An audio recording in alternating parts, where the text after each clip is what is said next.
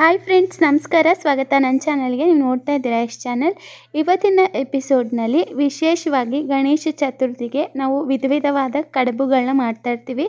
ಅದರಲ್ಲಿ ಒಂದು ಸಿಂಪಲ್ ಆದ ಕಡುಬಿನ ವಿಧಾನ ಗೋಲಿ ಕಡುಬು ಅಂತ ಹೇಳ್ಬೋದು. ಸೊ, ಖಾರ ಕಡುಬು ಮಾಡಬೇಕು ಅನ್ನೋರು ಈ ಕಡುಬನ್ನು ನೀವು ಹಬ್ಬದ ದಿನ ಟ್ರೈ ಮಾಡ್ಬೋದು. ಮಾಡೋದು ಹೇಗೆ ಅಂತ ನೋಡೋಣ. ಬಾಣಲೆ ಬಿಸಿಗೆ ಇಟ್ಕೊಂಡಿದ್ದೀನಿ. ಇದಕ್ಕೆ ಒಂದೂವರೆ ಕಪ್ಪಷ್ಟು ನೀರು ಹಾಕೋತಾ ಇದ್ದೀನಿ. ಈ ನೀರಿಗೆ ಸ್ವಲ್ಪ ಉಪ್ಪು ಹಾಕ್ಕೊಳ್ಳೋಣ ರುಚಿಗೆ ತಕ್ಕಷ್ಟು ಉಪ್ಪು ಒನ್ ಟೀ ಸ್ಪೂನಷ್ಟು ಕುಕ್ಕಿಂಗ್ ಆಯಿಲ್ ಅಥವಾ ಅಡುಗೆ ಎಣ್ಣೆ ಯೂಸ್ ಮಾಡ್ತಾ ಇದ್ದೀನಿ.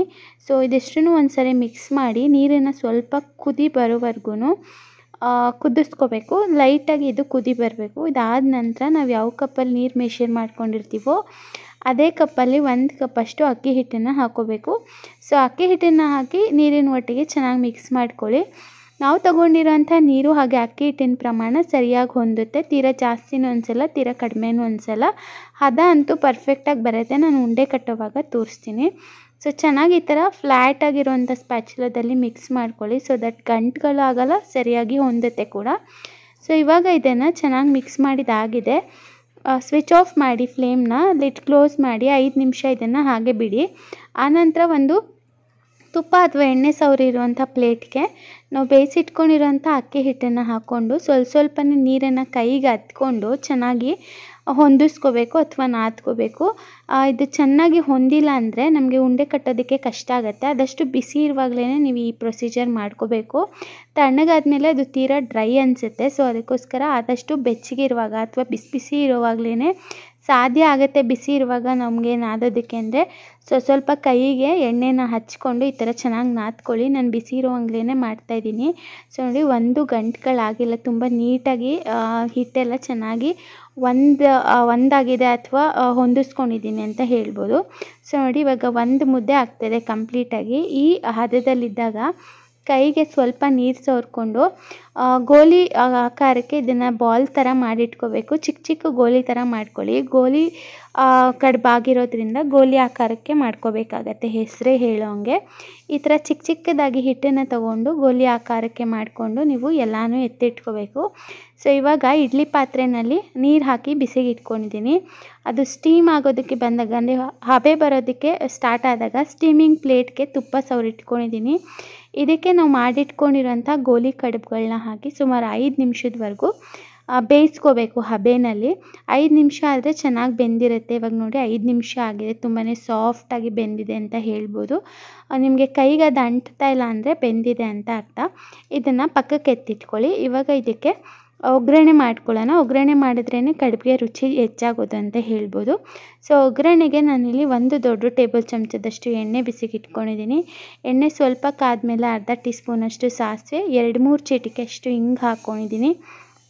ಜೊತೆಗೆ ಒನ್ ಟೀ ಸ್ಪೂನಷ್ಟು ಕಡಲೆಬೇಳೆ, ಹಾಗೆ ಒನ್ ಟೀ ಸ್ಪೂನಷ್ಟು ಉದ್ದಿನಬೇಳೆ, ಒಂದು ಎರಡು ಮೂರು ಕಡ್ಡಿಯಷ್ಟು ಕರಿಬೇವಿನ ಸೊಪ್ಪು. ಇದಿಷ್ಟನ್ನು ಹಾಕಿ ಒಗ್ಗರಣೆನಲ್ಲಿ ಮೊದಲಿಗೆ ಬಾಡಿಸ್ಕೋಬೇಕು. ಸೊ ಈ ಉದ್ದಿನಬೇಳೆ ಕಡಲೆಬೇಳೆ ಏನು ಹಾಕಿದ್ದೀವಿ ಅದು ಸ್ವಲ್ಪ ಕೆಂಪಾಗುವವರೆಗೂ ಹುರ್ಕೋಬೇಕಾಗತ್ತೆ. ಸೊ ಹುರಿದಿದ್ದಾದಮೇಲೆ ನಾವು ಇವೆ ಇದಕ್ಕೆ ಈರುಳ್ಳಿ ಹಾಕ್ಕೊಳ್ಳೋಣ ಕೆಲವರು ಈರುಳ್ಳಿ ಹಾಕಲ್ಲ, ಬೇಡ ಅಂದರೆ ಸ್ಕಿಪ್ ಮಾಡ್ಕೊಳ್ಳಿ. ಹಾಕಿದ್ರೆ ರುಚಿ ಚೆನ್ನಾಗಿರುತ್ತೆ. ಒಂದೇ ಒಂದು ಈರುಳ್ಳಿ ಹಾಕ್ಕೊಂಡಿದ್ದೀನಿ ನಾನು ಜಾಸ್ತಿ ಏನು ಬಳಸಿಲ್ಲ. ಈರುಳ್ಳಿನ ಒಗ್ಗರಣೆಯಲ್ಲಿ ಸ್ವಲ್ಪ ಹೊತ್ತು, ಅಂದರೆ ಹಸಿ ವಾಸನೆ ಹೋಗೋವರೆಗೂ ಚೆನ್ನಾಗಿ ಬಾಡಿಸ್ಕೋಬೇಕು. ಹಸಿ ವಾಸನೆ ಎಲ್ಲ ಹೋಗಿ ಕೆಂಪಾಗುತ್ತೆ, ಅಲ್ಲಿವರೆಗೂ ಹುರ್ಕೊಳ್ಳಿ ಈರುಳ್ಳಿನ. ಈರುಳ್ಳಿ ಹಾಕಿಲ್ಲ ಅಂದರೆ ನೀವು ಸೊಪ್ಪುಗಳು ಕೂಡ ಹಾಕೊಂಡು ಮಾಡ್ಕೋಬೋದು, ತೆಂಗಿನಕಾಯಿ ತುರಿ ಹಾಕ್ಬೋದು. ನಿಮಗೆ ಯಾವ ಥರ ಮೇಲೆ ಒಗ್ಗರಣೆ ಬೇಕು, ರುಚಿ ಬೇಕು ಅನಿಸುತ್ತೋ ಆ ಥರ ನೀವು ಚೇಂಜ್ ಮಾಡ್ಕೋಬೋದು. ಆಯಿತು ಸೊ ಒಗ್ಗರಣೆಗೆ ನಾನು ಇವಾಗ ರುಚಿಗೆ ತಕ್ಕಷ್ಟು ಉಪ್ಪು ಹಾಕೋತಾ ಇದ್ದೀನಿ. ಇದ್ರ ಜೊತೆಗೆ ಎರಡು ಚಿಟಿಕೆಯಷ್ಟು ಅರಿಶಿನ ಪುಡಿ ಒನ್ ಟೀ ಸ್ಪೂನಷ್ಟು ಅಚ್ಚ ಖಾರದ ಪುಡಿ ಇದಿಷ್ಟನ್ನು ಹಾಕಿ ಒಗ್ಗರಣೆ ಒಟ್ಟಿಗೆ ಮಿಕ್ಸ್ ಮಾಡ್ತಾ ಇದ್ದೀನಿ. ಇದನ್ನು ಹಾಕೊಳ್ಳೋದ್ರಿಂದ ಸ್ವಲ್ಪ ಕಲರ್ ಬರುತ್ತೆ ಅದಕ್ಕೋಸ್ಕರ. ಖಾರ ಇನ್ನೂ ಜಾಸ್ತಿ ಬೇಕು ಅಂದರೆ ನೀವು ಒಣಗಿ, ಒಣಗಿದ ಮೆಣಸಿನ್ಕಾಯಿನ ಮುರಿದು ಹಾಕೋಬೋದು, ಹಸಿ ಮೆಣಸಿನ್ಕಾಯಿ ಪೇಸ್ಟ್ ಕೂಡ ಹಾಕೋಬೋದು. ಸೊ ನೋಡಿ ಇವಾಗ ಬೇಯಿಸಿಟ್ಕೊಂಡಿರೋಂಥ ಗೋಲಿ ಕಡುಬುಗಳನ್ನ ನಾನು ಡೈರೆಕ್ಟಾಗಿ ಒಗ್ಗರಣೆ ಒಟ್ಟಿಗೆ ಹಾಕಿ ಈವನ್ ಎಲ್ಲ ಕಡೆ ಒಂದೇ ಕಲರ್ ಬರೋ ಥರ ಮಿಕ್ಸ್ ಮಾಡ್ಕೋತಾ ಇದ್ದೀನಿ.